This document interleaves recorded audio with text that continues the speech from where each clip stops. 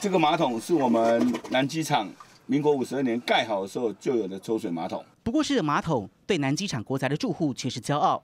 然而骄傲的不止如此，瞧，衔接各楼层的回转梯，五十年前可是超时尚的设计。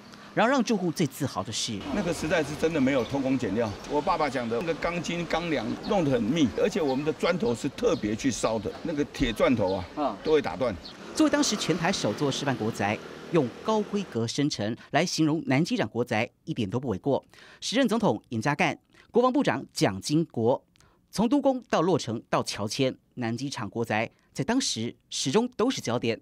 然而几十年过去，我们的违建叫做前凸后翘，还有上面顶，是开玩笑也是心酸。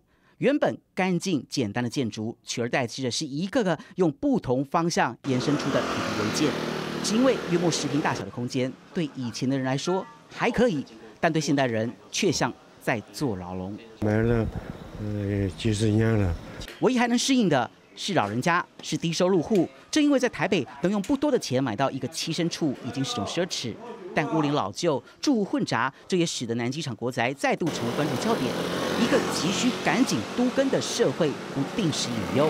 他也讲到这个南机场的问题、夜市的问题很头痛，那到时候不晓得怎么解决，他还想不到办法，所以就没做了。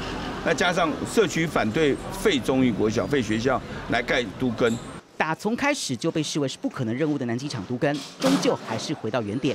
尽管住户对都根仍抱有一丝期望，然而以此牛步，只能祈祷在等待重生的期间，别再有一把火把希望烧成灰烬。这机关红颜镜台北报道。